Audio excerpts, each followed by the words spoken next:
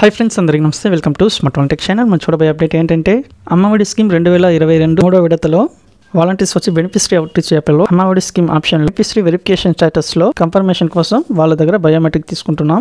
ఇందులో ఇప్పుడు ఈ సర్వే యాప్లో కొన్ని అప్డేట్ న్యూస్ వచ్చినాయి గైస్ దాని గురించి ఇప్పుడు మనం చూడబోతున్నాం. దానికి ముందు మన ఛానల్ ఎవరింతవరకు సబ్స్క్రైబ్ చేయకుండా ఉంటే వెంటనే సబ్స్క్రైబ్ చేయండి లైక్ చేయండి షేర్ చేయండి. అప్డేట్ నేను వేసే వీడియో మీకు వెంటనే నోటిఫికేషన్ వస్తుంది. ఓకే గైస్ రండి మనం వీడియో టాపిక్ వెళ్తాం మనకి అమ్మఒడి స్కీమ్ ఆప్షన్ మనం సెలెక్ట్ చేస్తే మనకి రెండు ఆప్షన్ చూపించడం జరుగుతుంది. దాంట్లో ఫస్ట్ అమ్మఒడి డేటా అనేది పక్కన వచ్చి చర్చ్ అనే ఒక ఆప్షన్ ఉంటుంది. ఫస్ట్ వచ్చి అమ్మఒడి డేటాని చూద్దాం రండి. ఆల్మోస్ట్ ఇది అందరికీ తెలిసిందే. సో సో దీంట్లో ఉన్న కొన్ని అప్డేట్ గురించి ఇప్పుడు మనం చూడబోతున్నాం. ఫస్ట్ నా క్లస్టర్ని ఓపెన్ చేస్తున్నాను. సో దీంట్లో ఒక బెనిఫిట్స్ని సెలెక్ట్ చేస్తున్నాను చూడండి. సెలెక్ట్ చేసిన తర్వాత స్టూడెంట్స్ ఒక నేమ్ స్టూడెంట్స్ ఐడి స్టూడెంట్స్ ఒక ఆధార్ కార్డు రెండోది ఆ స్టూడెంట్స్ వచ్చి ఏ క్లాస్ చదువుతున్న డీటెయిల్ దాని తర్వాత మదర్ నేమ్ ఉంటుంది.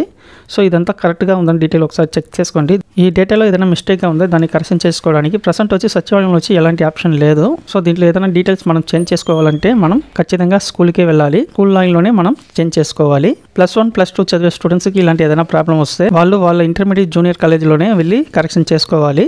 ఈ డేటాలో చూడండి. ఒక స్టూడెంట్స్కి వచ్చి వాళ్ళ మదర్ పేరే కనిపించలేదు. కానీ కింద మాత్రం ఆధార్ కార్డ్ నెంబర్ చూపిస్తుంది. కానీ పైన వచ్చి చూస్తే మదర్ నేమ్ వచ్చి కనిపించలేదు. సో దాన్ని నోట్ చేయండి. సో ఇలా వచ్చిన వాళ్ళకి ఎంత? వాళ్ళు చదివే స్కూల్లో కానీ ఇంటర్మీడియట్ జూనియర్ కాలేజ్లో కానీ వెళ్ళి అడగమని చెప్పండి. సో అక్కడే మీరు కరెక్షన్ చేసుకోవాలి గాయస్ సచివాలయంలో ఎలాంటి ఆప్షన్ లేదు ప్రజెంట్ నెక్స్ట్ ఇంకో అప్డేట్ అంటే మనకి ఎవరైనా ఎలిజిబుల్ అయిన ఉండి కూడా వాళ్ళ పేరు మనం లిస్ట్లో రాకపోతే పక్కన చర్చ్ అని ఒక ఆప్షన్ ఉంది కదా దాంట్లో మదర్ ఒక ఆధార్ కార్డ్ నంబరు లేకపోతే స్టూడెంట్స్ ఒక ఆధార్ కార్డ్ నంబరు తన స్టూడెంట్స్ ఐడి దీని ద్వారా కూడా మనం చెక్ చేసుకోవచ్చు. సో దీంట్లో చెక్ చేసేటప్పుడు వాళ్ళ పేరు వస్తే ఇక్కడ కూడా వాళ్ళకి సర్వే చేయొచ్చు. ఎలాంటి ప్రాబ్లం లేదు. సో నాకు వచ్చి సిక్స్ మెంబర్స్ పేరు రాలేదు చెప్పినాను కదా సో వాళ్ళకంతా చెక్ చేసినాను వాళ్ళకంతా నో డేటా అవైలబుల్నే వచ్చింది. అంటే వాళ్ళు ఇన్నెజిబుల్కనే అది మాత్రమే కాదు వాళ్ళ స్టేటస్ అంతా చూసినాను వాళ్ళు ఇన్ఎలిజిబుల్లోనే ఉన్నారు. సో ఒక్కొక్కరికి ఈబీ స్క్వేర్ ఫిట్ అంతా ఉంది ప్రాబ్లంగా. సో నిన్ననే మనకి ఎలిజిబుల్ లిస్ట్ ఇన్ఎలిజిబుల్ లిస్ట్ వదులుతానన్నారు కానీ ఇంతవరకు ప్రెసెంట్ రాలేదు. సో దీని తర్వాతనే అప్డేట్ తెలుస్తుంది.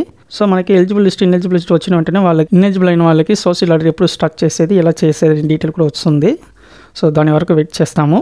నెక్స్ట్ వచ్చి ఈ సచి ఆప్షన్లో మనం రాష్ట్రంలో ఎక్కడ ఏ డిస్టిక్లో ఉన్నా కూడా మనలో పక్కనే ఉన్న సచివాలయం వెళ్ళి మరి బెనిఫిషరీ వెరిఫికేషన్ స్టేటస్ కోసం అక్కడ కూడా బయోమెట్రిక్ పెట్టొచ్చు ఎలాంటి ప్రాబ్లం లేదు.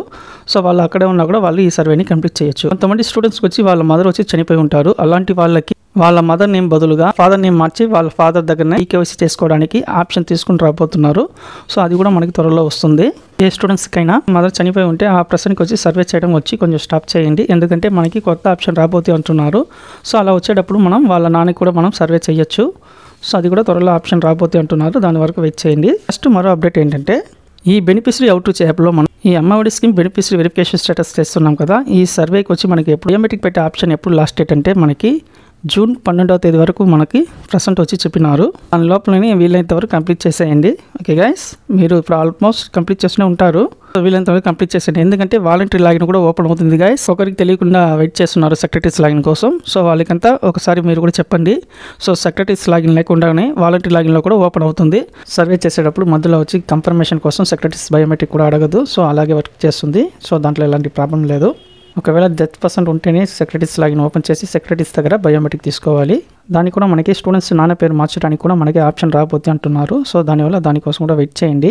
సో ఓకే గైస్ ఈ ఇన్ఫర్మేషన్ వచ్చి మీకు యూస్ఫుల్గా ఉంటుంది అనుకుంటున్నాను. ఈ వీడియో కానీ నచ్చితే లైక్ చేయండి షేర్ చేయండి మర్చిపోకుండా సబ్స్క్రైబ్ చేయండి గైస్ మళ్ళీ ఒక కొత్త అప్డేట్లో కలుద్దాం. అంతవరకు అందరికీ బాయ్ ఫ్రెండ్స్